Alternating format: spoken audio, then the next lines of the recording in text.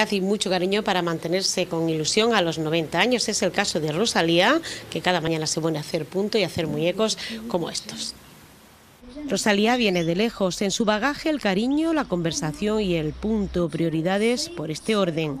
Cientos de osos vendidos incluso por caridad en un mercadillo solidario del colegio de al lado. Los niños que se quedaron sin osos hasta lloraban. Se quedaron llorando porque ya no tenía. ¿Y dónde mandó el dinero? Pues a los pobres de por ahí para el extranjero los llevó uno que se llama Jesús, que no creo que se haya muerto porque era más joven. En su quehacer diario a los 91 años hace vestiditos que ha llevado por todo el mundo, incluso han llegado hasta Miami. Son casi todo compromisos, los vestidos más complicados que los osos. Sí, tengo en Barcelona, en, en, en Madrid, eh, en, en Alicante, por todo el mundo está. En realidad son favores. Para los amigos, a hacer favores.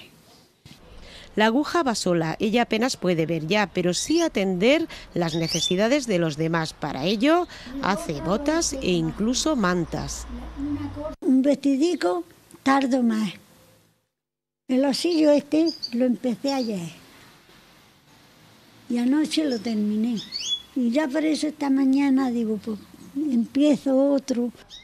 Manualidades que son vida, recetas para mantenerse y hacer feliz a nuestros mayores con cariño y dignidad. Escuchen.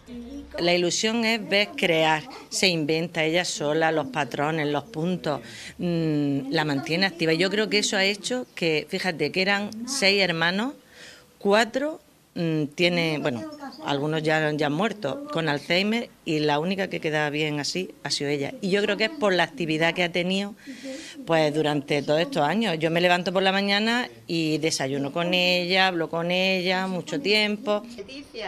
Rosalía nunca dejó de trabajar. No me da vergüenza decirlo. Me buscaban a trabajar a La Vega y he estado cavando garbanzos con una zailla día y día. El cariño fundamental para todas las edades. Yo vivo a gusto porque aquí mira todo me quiere. Mucho trabajo, pero eso sí, que se aproveche. Uso hay que darle. Y por cierto, gracias. Ahora esos calcetines que te dan, te los pones. 12.000 ancianos mayores de 90 años viven en Andalucía. Vidas largas, productivas, fructíferas, aprovechadas al máximo, futuros de minuto que cultivan dando ejemplo desde hace casi un siglo. Es el caso de Rosalía.